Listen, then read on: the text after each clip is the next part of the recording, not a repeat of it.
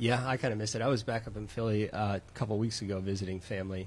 Yeah. Um, but as we mentioned, it was kind of cold and rainy then. It's not much different than down here right now. So. Yeah, I was going to say, it's, it was like going up there, spending time with family, but still being by a fire Yeah, yeah, under you know blankets. So yeah. okay, we are live. I'd like to welcome everybody back uh, to Alabama Care Weekly episode, and I am here with Mrs. Nancy Anderson, and Mrs. Anderson is uh, Assistant Director of the Alabama Disabilities Advocacy Program, um, kind of shortened as ADAP. And within uh, ADAP, one of her main responsibilities is chair of the uh, Children's we just said Advocacy advocacy team. Um, so I'd like to kind of hand it over now and let you introduce yourself and kind of some of the work that you do. Okay. Um, so I am, um, as you said, the associate director, and I also chair our children's advocacy team. Um, but broadly, what ADAP is, um, is the um, protection and advocacy agency for people with disabilities here in Alabama. We are one of 57 in the country. We're all federally funded. Um, and our mission is to protect and promote the rights of people with disabilities. Um, we are housed here in Tuscaloosa. We also have an office in Montgomery, uh, but we serve people statewide. Okay. We do a lot of road trips throughout the state. Um, we have, I've probably lost count, seven or eight, I guess, different funding streams which empower us to do different kinds of work on behalf of people with disabilities. So some of our funding streams are specifically on behalf of certain types of disabilities, whether it's a developmental disability or a mental illness um, or a traumatic brain injury. But then some of our funding streams um, allow us to do particular kinds of advocacy. So we have one funding stream devoted to um, furthering the use of assistive technology in the state. And we have one, um, uh, actually, we have two from the Social Security Administration, which um, one deals with um, encouraging and taking away barriers to employment for persons who are on SSI or Okay. SSDI. And then the other Social Security um, Administration funding stream is a relatively new one, and it's our representative payee program. And that is all about essentially preventing the financial exploitation of people who are beneficiaries of Social Security, whether they get SSI or SSDI. Now I'd like to ask a quick question. A lot of, I hear SSI and SSDI. What is the difference between SSI and SSDI? So, real quickly, um, SSI is supplemental security income, um, and SSDI is dis- essentially disability insurance. So, anyone who pay who works and pays into Social Security, if they be, um, become disabled, um, could potentially qualify for SSDI. Gotcha. So SSI means that you maybe not have worked before and you haven't contributed to Social Security, where SSDI is you have contributed, and if you do um, have a disability during that period, that would be what you would get reimbursed, kind of thing. if, if you were deemed eligible for it. Yeah, so a lot of recipients of supplemental security income or SSI are actually children who have a qualifying disability, which impedes their you know, functioning in some way or another. They obviously have never worked. Um, so that's a different program. But the goal behind um, the one program we have um, is, you know, people who are on SSI or SSDI aren't necessarily working or they're not working to their fullest. And so the goal is to um, encourage either going to work or returning to work. And then therefore getting the people off SSI or SSDI. Mm-hmm. You had to be contributing and tax-paying Exactly. citizens, and it's good for uh, you know it's good for everyone to work. It's not good to you know if you're able to, it's good to have something that you feel proud of that you create during that day, whatever that is, Mm-hmm. um, and come home at night knowing that you contributed to society at large. Yeah, and I think there's certainly, um, with young people growing up today, um, and I'm sure a lot of advocacy groups that work with families of younger persons, um, they grew, grew up with the mindset that their child, despite having a disability, is going to work. Yeah. I mean, there are jobs out there. Absolutely. And I, we had a guest on a couple weeks ago, uh, the owner of Taziki's uh, Mediterranean restaurant, um, and he was talking about how, as a, an individual or a family, uh, you need to reach out to the business owners on a one-on-one, you know, um, um, relationship there because a lot of these bigger organizations, there's just so many things that you have to do and so many people that make the decision on whether or not to hire you or not. So he said, kind of what I understood was get in contact with your local business that you enjoy being a customer of and really reach out to the owner or the person that can make that decision. Um, so he's, he's doing a lot of really cool things I, there. that makes a lot of sense, and certainly when we work with families of young people um, who are getting ready to graduate high school, um, we often say to them, you know, yes, the school has a role to play in finding your child vocational or employment development sites Mhm. where your child could learn job skills, etc. But don't ignore the role you can play Mhm. in finding places as well. hmm You have to be active there, and but Yes. the the energy that you spend and the commitment that you spend early pays off long term. Um, so that's really. I have a question about the representative pay. You said that's a program there. I Mm-hmm. recently became representative payee for a family member of mine, Mhm. and that was a couple months ago. She has yet to receive her Social Security. It's like on backlog. Um, this is going on the third month now, so I have to go down to the Social Security office tomorrow. Uh, That's and, interesting. And kind of knock on the door and say, "Hey, what's going on?" Because she's able to um, be okay without it for right now, but I know a lot of people wouldn't. And the third month, if they didn't get their Social Security, that would be a huge thing for them. Um, so, and, and long term, uh, my family member wouldn't be able to live without her Social Security. So, Right. what is the representative payee program that you were speaking about? So, as I said, it's our newest funding stream, and um, it, it it's not just for us. The whole P&A network um, is part of this program. So, as a representative payee, you yourself know that you have certain obligations um, by way of using uh, your relative's money Mhm. in certain ways to further her well being. And you know that you have certain accounting responsibilities um, for how the money is accounted for and, and, and how you, you know, do the books, et cetera. Um, unfortunately, although it is the case that probably the vast majority of representative payees who are caring for the funds of a person with a disability, they're probably doing it perfectly fine, and they are doing it to further the interests of the, of the person, and they're doing the accounting properly. There are some, unfortunately, who are not. Um, and so the representative payee program is a way for the P&A system to identify those representative payees who are not doing it correctly, Mm. who aren't using the money to further the needs of their relative or, or the beneficiary, whether it's a relative or not, um, or whether they're um, not doing the accounting properly. So to help them to kind of train them that hey, these are the best practices with people that are doing the job of being a representative payee. This is how you should go about doing it. If you don't, we're Well, it, it and and I have I have to be very clear in saying that it's a relatively new program, so I am going to be very modest in what I say about it. Um, so we went over a little bit about uh, what ADAP is and is federally funded through a couple different programs there. And one of the big things that I think is really cool about ADAP it being in, in each state is that it doesn't represent the state, it represents the people. And I think being federally funded allows that to happen, kind of make sure the state is doing what they need to be doing and what they need to do to serve people with disabilities. And I think that's something that is really cool. Do you know when ADAP first came about or how that? So the whole network, the whole P, protection and advocacy or P&A system came about in the mid 70s.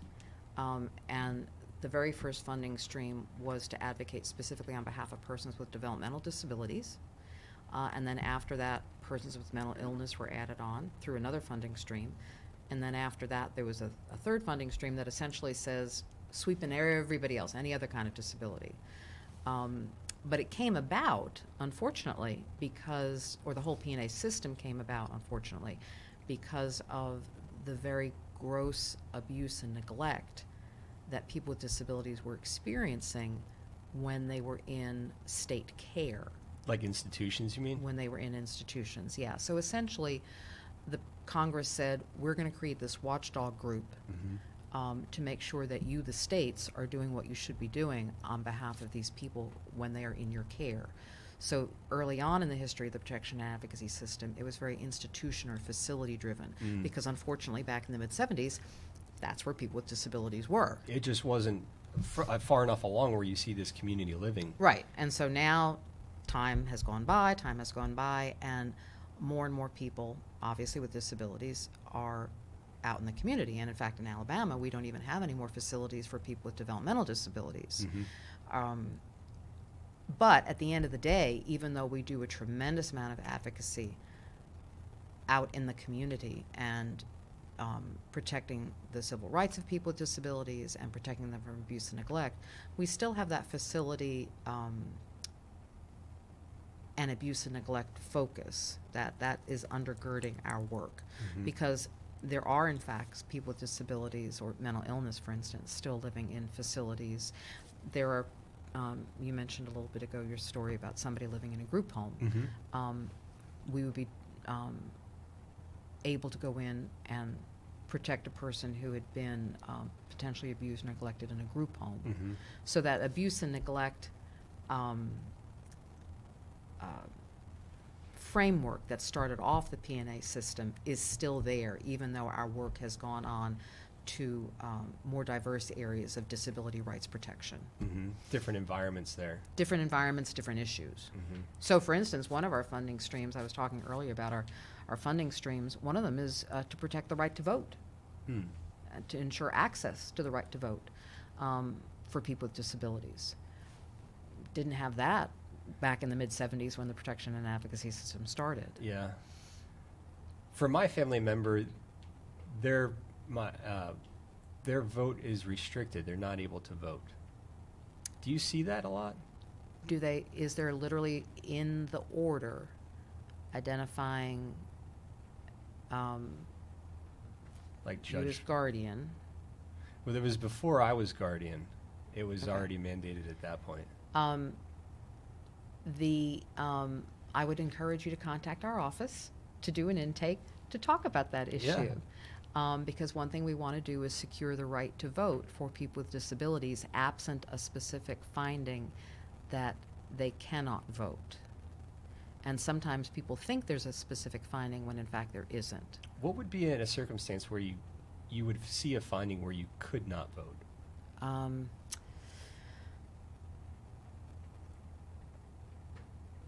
You don't You see many what- of them. Or You mean what it what what it is that would drive a person or or would um, have a judge levy that kind of order? where it would say, yeah, I think it is appropriate for the guardian, if they want to, to say that um, the person that they're a guardian for doesn't have the right to vote, to restrict the right. Well, it's not it's not up to the guardian; it's up to the judge. The judge. The judge to, to, to do that. So, I would encourage anybody who is concerned, as maybe you are, Mm-hmm. about your relative's right to vote, to contact us and talk with the voting expert because I'm not a voting expert. Okay. Um, let's get a little bit into the children's advocacy team then. So that is Okay. something that you're chair of here in Mhm. ADAP. And was that something that you took on when you first became a part of ADAP, when you first joined ADAP, or did you kind of grow into that role? No, I've always done primarily children's advocacy. Okay. And what age group is that specifically? Well, birth, um, and then anywhere, it taps out anywhere 18, 19, 20, 21, depending on the issue. Um, it's, it, it gets a little um, squidgy, I guess you'd say, at the top end because it depends on the um, service delivery system that we're concerned with. So, for instance, if you're talking about uh, access to Medicaid services for children, children's Medicaid lasts till 21. Okay. So if you're contacting us about a children's Medicaid matter, it's going to stay with us on the children's team.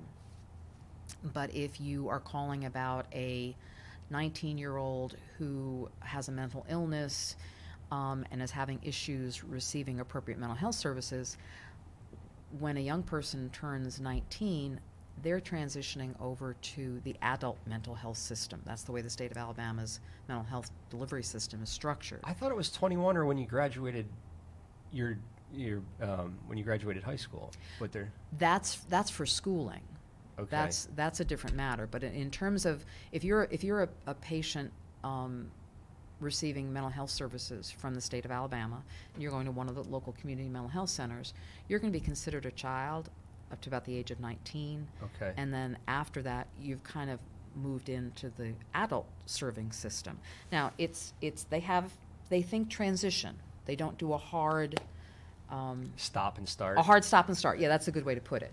Um, so, just like um, the mental health system will look at a patient and say, "Uh, "We're going to keep him over here, or serve him by with these people, or we're going to move him over." We kind of do the same way. We try to figure out where where it makes most sense in our office to house that case Mm. um, if it's if the if the young person is still receiving services through the children's side, even though he's at that funny age, then we're going to because we're most familiar with the children's side, Mhm. whereas opposed uh, uh, To if yeah, he's on the adult side of the mental health system, we're going to uh, assign him to the adult team. Gotcha. Okay. What? Um, I feel like that is a very critical point uh, for the, the individual and the family is that transition out of the education system into the adult system. How early? Uh, let's say someone's transitioning at 19. When do you start to plan for that? When is is it two years? Is really the hey we need to start doing this right now? And I know you're working with them through that entire time, but is there a specific one year, two year thing where you say we need to really put pen to paper and figure out what's going on here? Okay, so some hard data. Um, the a child's entitlement to special education services lasts until he is 21 or until he graduates school with a regular diploma. Mm. Um, it is another hard fact is that under federal and state law, transition planning has to start taking place at the age of 16 16. or earlier Hmm. if the child's needs require it to be done earlier. Now, it used to be, interestingly enough, that federal law said 14. And I don't even remember how many years ago now, maybe, I guess it was when the IDEA was reauthorized in 2004, although I might be wrong about that. The age was raised from 14 to 16, which anybody who knows anything about transition must have scratched their heads and thought, Oh, well, that's dumb. You're going backwards. exactly. Um, because if anything, you should be doing it earlier. Um, but there is that out in the law where it says 16, no later than 16, you must do it then, or earlier. Um, we encourage parents to start thinking about transition at the very least by middle school, Mm. because for some children, particularly those with significant disabilities, you need that amount of time to really kind of lay out a plan and for your child to lay out a plan for where he, she wants her life to go. Well, I remember in ninth grade we took tests. It says, "What do you want to do when you get older?" Or this is Yeah. what you're, you know. So it's right around that same age group. Yeah, yeah. You know, starting out there, and the transition plan is that initiated by the school system. It's part of a, um, a child. It's the child's IEP, his individualized education plan. Yeah. Okay. Um, and so if you are 16 years old and still in the education system, or if your son or daughter is 16 years old and you haven't started your transition plan, you need to do that right now. It's your school's obligation. This should have been done before. Yes. So if you're you're falling in that category, this is something that you need to get on right away, and you need to speak with would it be a, uh, the IEP team um, leader? Would that usually a special education teacher? Um, so our recommendation when parents um, correspond or contact um, their school district about any kind of special education matter is to go to the special ed coordinator, um, get to know that person.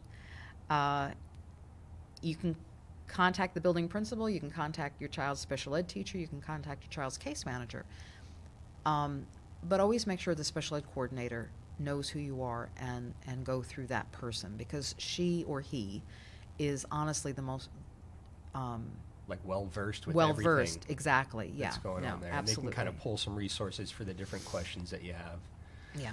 Um, I've spoken with a few families that have gone through that transition or are going through that transition plan, and if that is not done well, it causes a lot of stress for the individual and the family to the point where if someone needs full time care or help and they stop receiving those services from the education department or, or from the school, like they stop going to school during the day, and there's nowhere for them to go during the day after that transition plan, then the family kind of has to take some time off to cover that until that solution's found out. Mm-hmm. And I've run into families where that's happened before, and I think that that can be eliminated by planning a little bit better ahead of time.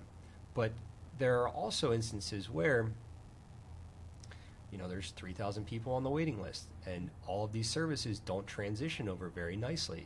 You know, there's a difference there between the young adulthood services and some of the adult services. Um, what would you say to somebody that is in that part right now where their son or daughter or they are out of the school system and things haven't clicked on the adult side yet? Well, it, hmm. Uh, that's a pretty broad question because it depends on the nature of the young person's needs. Very true. Um, if the young person wants to go to work, and as we discussed earlier, Should be. but if you're we willing would, we and, would, and yeah, I mean, it, we would want work to be a natural outcome for any adult. Um, and but if that if that young person has left the school system, the next obvious stop for that young person would be to go to their local vocational rehabilitation office and seek help from that office. Mhm. Um, if the young person needs help with independent living, um, uh, there are a lot of different agencies that they can go to. Um, the um, Could they call you if they were stuck in that transition, like they had a plan in high school and then it kind of fell apart or needs changed? Would that be someone that would call you and ADAP and say, "Hey, we need a little bit more help with this plan"? So what we, um, a lot of parents think that we provide direct services or that we case manage, and we don't do that. We fix legal problems. Mm. Um, so if a parent called me and said, "My child graduated from high school last year, he's sitting at home on the sofa, what do I do?" Um, we would try to figure out where, if any place, that young person could receive some kind of service, figure out, you know, give advice to the parent about how to get connected to that service, and hopefully that information would propel the, the family and the parent on a good road. And then if they ran into a roadblock, they could call us back. Yeah. Um, and, and I think that that reflects one important thing about ADAP services. We have a staff of 10 advocates, 10 or 11 attorneys, um, and then five support staff. Um, It would be very hard for you guys to do casework. it, it would be very hard for us to turn every phone call that comes into our office into a legal case Mm. where we're representing a person. And so when someone calls us for help, the very first thing that we want to do with them is empower them to be good self advocates, Mhm. to give them the knowledge that they need to the legal or the the legal substantive knowledge you know what what is the situation that you're facing this is what you can potentially seek this is what the law provides so give them the substantive knowledge they need and then give them advocacy strategies so they can go out and self-advocate Mhm. um, because we can't meet the needs of every single person that calls us by representing them in some kind of matter Yeah. And that self advocacy, we had Susan Ellis and Allison Haynes of People First on a couple of weeks ago. And so I imagine that would be an organization that you would encourage them to be in touch with for self empowerment and self advocacy. In fact, we very often, when we're talking to, again, on the children's side of the house, when we're talking about families um, empowering their youth, one of the things we do is suggest, you know, get your youth involved in some self advocacy groups, like, for instance, People 1st Mhm.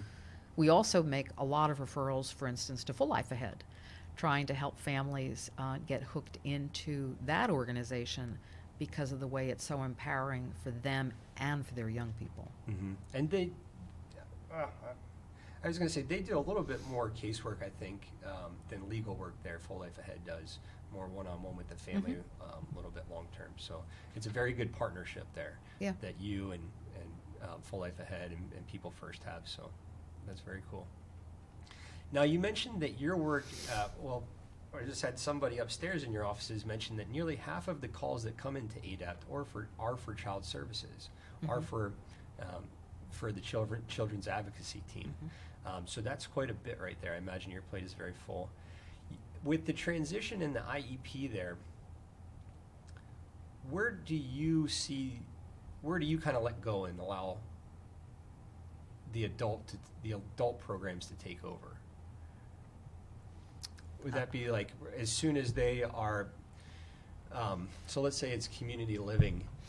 Do you follow them for a few months after they? Oh, I think I see what you mean. You mean if we if we become involved in some sort of matter, Mm-hmm. and um, let's say we have direct involvement, and we help fix a problem, do we like hold the case open and watch to see if it worked out? Yeah. Um, we probably do more often than we should. Yeah. Um, what we really should do is close it promptly and advise the, the family member that um, this is the path and this is the plan. Call us back if something goes awry. Um, we tend to probably uh, keep them open a little bit longer than we should and just kind of call up every once in a while and say, what's it, you know, how are things going? Um, and then close it. But we don't keep cases open forever Mm. um, because a parent can always call us back again.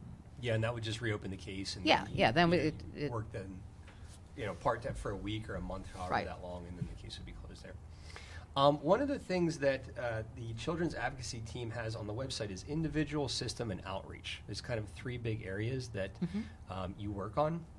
And I had a question about system there. Are there things that you see on a national level um, that are some system changes that are going on that you think are going to come to fruition and be very beneficial for the community? On the national level or the state level? I guess both. Are there any new programs or new guidelines that are coming out that um, you think are going to make a big difference? Um, well, so a few things that I'm trying to pay attention to um, is the um, charter school movement. Okay. which has gotten, um, uh, you know, some push at the national level and then Mhm. also some push at the state level. And so, what is the impact going to be on the education of children with disabilities in Alabama's very, very new and right now very, very small, but nonetheless growing charter school movement?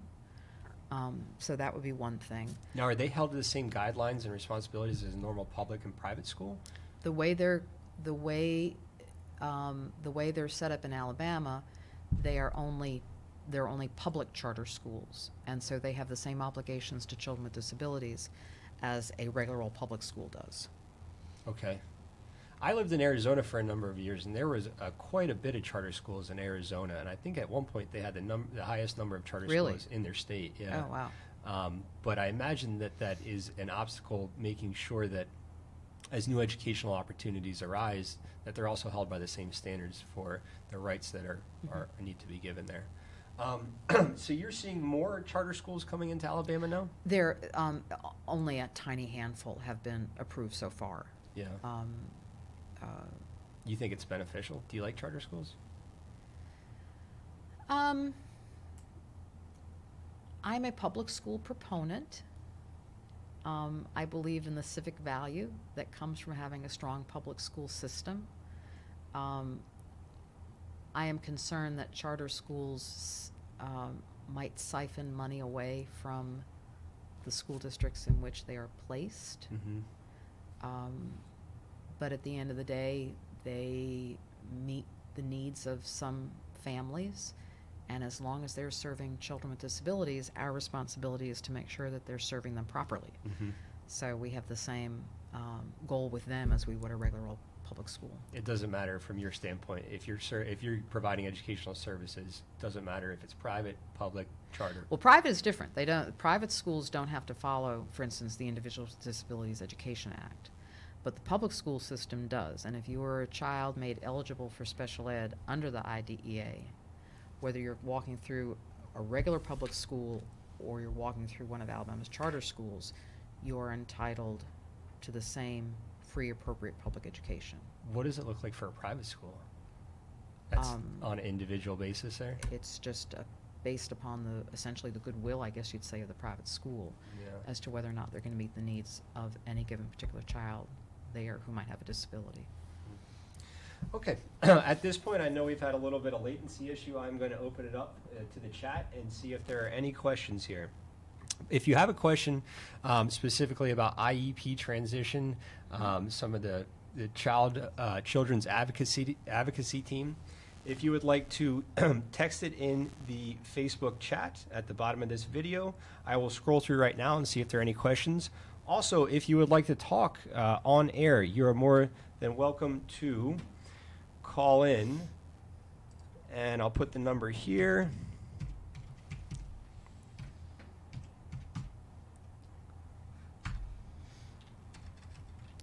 And you just remember you will be live on air. And we'll give it a few minutes there and see if anyone would like to do that. You see any uh, comments there, Jessica? Um, I was gonna make a comment myself. Our audience of one. That would be perfect. Um, okay, so do you advocate for people with disabilities that aren't receiving medical services or medications or procedures for medical stuff? Do you get that? Are they being denied a service because of their disability? Okay. Like, is there something, No, I would just think that like they're entitled to, s- like, seeing a specialized, um, you know, like a physician, a specialized physician, and it's not being covered.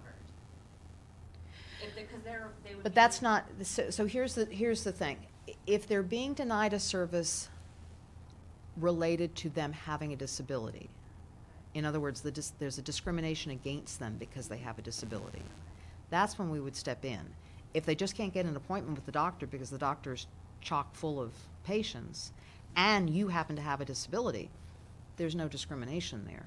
You're just one of many people who can't get in. What if like Medicare, which is federally funded, isn't reimbursing for medical services that they need? Okay, so if, um, if Medicare or Medicaid is denying a person with a disability a particular service, let's say it's incontinence supplies or some sort of DME supply, or maybe private duty nursing, um, that is, if, if a caller contacted us and said, this is happening to me, we would do sort of an initial, initial assessment as to whether or not that person did in fact have a right to that service and had been improperly denied it. Um, and then, as I said earlier, um, if we can, we're going to empower that person with ideas and strategies about how to go about fixing it themselves. Um, but at the end of the day, um, we might take that on as a case. We do that a fair amount of time on the children's side with Medicaid, um, just because the Medicaid mandate for children, um, the Medicaid program for children, is such a robust insurance program. Um, where basically a child, if there's a service that is deemed medically necessary, uh, with, you know, some exceptions around the edges, um, then the child is supposed to get that service. I have a question. What if, um, what if the state's not able to, pro- to provide the resources for that service? Like, let's say that somebody needs um, to be in a group home or needs services for that, and the state just says, "We just we, we don't have any more money. We're, we we don't. There's nothing we can do to provide that service." As there are people on the waiting list that mm-hmm. aren't being serviced that should be serviced. So how does that work? Like, if you say, yes, the state, you need to provide these services, the state, can they just say, well, we can't? And then what's their next step? Well, so the waiver services are unique in that, um, I'll give you kind of a 10 second sketch. Yeah. Um, so the way the Medicaid system is set up, essentially, if Medicaid, when a state accepts Medicaid, it promises to provide a basic uh, menu of services to everybody who's entitled to them. Medicaid waivers, literally, the way they're, they're structured, they exempt or they waive a state from from following many of the normal requirements of the Medicaid Act to allow a state to serve a particular subset of people. So there are what six or seven waivers now? Two, six. I guess six or seven. The LAH, the the E and D waiver, the the ID waiver, the living at home waiver, the uh, Act waiver. They're, so each one of those waivers is set up to serve a particular population and to serve them with a specific set of services. Um, and in doing so, the state can say to the, f- in, in the grand bargain between the state and the federal government, the state can say, we're going to limit the number of people who can receive, let's say, E and D waiver services to X number of people. I don't know what the number is. Um, so yeah, there can be um, people who arguably could be eligible for the E and D waiver, but because the state can limit it to a certain number of people, um, there are the waiting lists. So if the state does waivers, they can limit to a certain number of people that they provide those waivers to. But if they didn't have waivers, they couldn't limit? But they wouldn't provide the services either. That doesn't make. So the federal government says, okay, we're going to give you this money, and the state says, okay, we're going to provide services, and then the state says, but we're going to decide to provide services through waivers, and those waivers allow us not to serve some population. I think if, if you look at the basic menu of services that the Medicaid Act requires every state to be, to provide, and Alabama has the most bare bones Medicaid program in the country. The services that the waiver provides are all about keeping people with disabilities in their homes and in the community. They're, they're not, you know, they're respite services, they're behavioral therapies, they're um, assistive technology services. Um, so, in crafting these waivers in order to keep people in the community, um, the state, yeah, can limit the number of people that receive the service. Um, I almost feel like they kind of fall through the cracks if they're not clearly defined by the service. what do you mean by that? Like if, um, like, I believe there's not a waiver for autism right now in Alabama. There is not.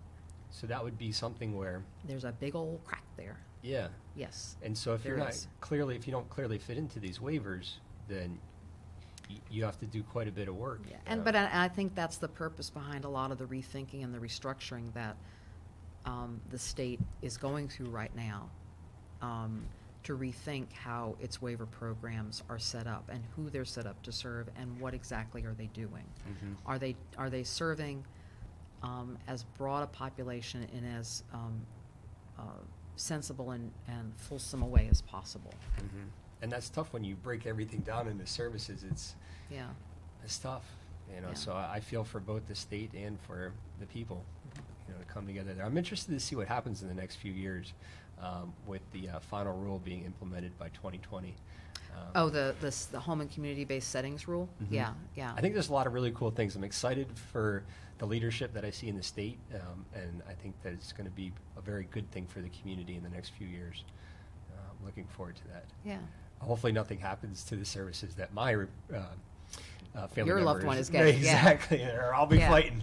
Yeah. So- okay. Um, I didn't see uh, uh, the connection kind of messes up there. I didn't see any comments at this point and no call-ins. So I'd like to kind of wrap up here um, at this point and ask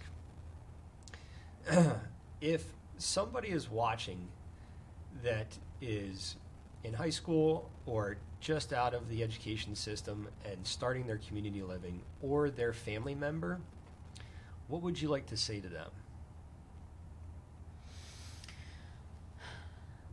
Let me take your question and change it up a little bit. Mm-hmm. Instead, let me talk to the person whose child is just getting into high school. That's perfect. Um, we, some of the hardest phone calls we get are from families where the children are getting ready to graduate and they, the families feel like they're graduating to nothing Mm-hmm. that they're about to fall off a big old cliff. Um, and so a tremendous amount of our advocacy um, is devoted to serving families of younger children, you know, the middle schoolers, the early high schoolers, to make sure that that that they don't encounter that cliff, that there is in fact a smooth transition from school and being at home with mom and dad to young adulthood, where whether it's employment or whether it's um, post-secondary schooling, and hopefully maybe some kind of independent living, maybe not right away. Uh, awful lot of 19-year-olds with or without disabilities still living still at home with mom and dad. um, but eventually, um, uh, that that takes place, and so we really want to encourage families to and it's hard to do it um, because life is just is chaotic. Um, but really start thinking earnestly about transition planning early so that, that you're not falling off that cliff at the end. Mm. And there are a lot of resources out there um, that can help you um, get ready for that transition, including ADAP. Awesome. Do you guys work a lot with um, special education uh, coordinators? Um, we do, and I'd like to think that it isn't always acrimonious. Um, uh, I, I think, um, yes, we do. We- We've gone in and done trainings for school staff. That's what I would imagine is, you know, sometimes they have questions and maybe they're reluctant to open up. And I didn't know if you did trainings for that group of people. We do. We do. Tra- I, our basically our motto when it comes to training is if you give us an audience, we're there. We'll be there. Whether it's an audience of parents or service providers, social workers, uh, VR counselors, or school staff. And we'll that's be part there. of the outreach that you guys That's do. part of the out. Yeah, that's one of the the the key mechanisms by which we do our work Mhm. is doing outreach. And again, it gets back to that self advocacy thing. Unless you know the law, unless you know the resources, you can't be a good self advocate. Mhm. So going out and doing that training is a big way that we get that work done. Yeah. And if, like the Full Life Ahead camp, I think that's a great weekend for families that, you know, because that, the, the, some of the people that go there, their kids are just starting high school or Right. middle school. And I think that's, you know, a great thing to get involved there and, and learn. So, And very empowering to families and to the youth, like I said. mm-hmm. Yeah. And a lot of fun too. I enjoy it every time. Yeah. I haven't been in about a year. I got to go back. I keep getting people. You come into this camp, and it's like, it's been crazy. Not right now. Hopefully Yeah. next camp. So, uh, hopefully get back out there in February or in the summertime for a camp. But okay, at this point, I'm going to wrap it up. I'd like to thank everybody uh, for watching. This video will be edited and available on YouTube for sharing. Um, and at this point, I'd like to thank Mrs. Anderson for being here with us today. So Well, thank, you very much. I appreciate you coming out to Tuscaloosa. Yeah, well, always uh, good to come down here. I guess roll tide, I got to say, on campus. Thank you. Yes. so, well, you see the stadium is, is two buildings that way. it is indeed. We overlook it. Yep. Yeah, very. I imagine it's crazy on game day. Uh, yes. In fact, in fact, uh, we um, are encouraged to get out of the parking lot as soon as we can, so that the out of towners can come See, in. I would kind of want to get up on the roof with binoculars to see if you can see a little bit of the field. From this building, Yeah, couldn't do it. Couldn't do it. It's too sm- too low. Yeah, Yeah, yeah. The angle's not right. that's funny.